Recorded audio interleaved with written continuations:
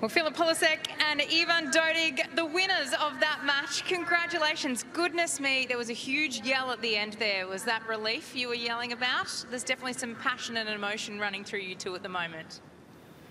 Uh, yeah, for sure. I mean, for me, uh, it was the third semi-final on the slam, and the first time we make it through, then it was huge relief, and uh, I'm just super happy. I mean, today was a great match. The guys played very well just few points decide and uh, happy it uh, ended up for us.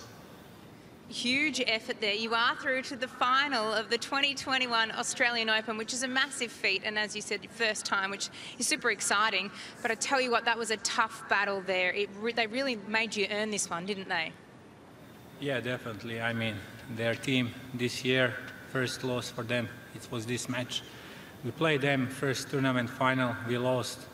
Uh, good thing is, you know, in doubles, you have to always try to find the small things. You know, today we found the small things. We didn't give them so many like uh, easy points, and that was the the key of the match. And really happy with this win. It's a big win, and we are looking forward for the next one.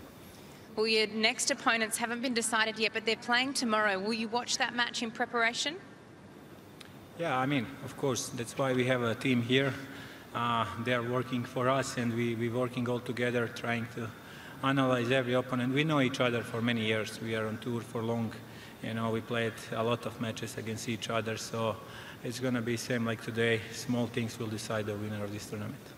Well, congratulations. You're into the finals. It's up to you to rest and recover now, and you'll take it to them on the court in a couple of days' time. Well done Thank to you both. Congratulations.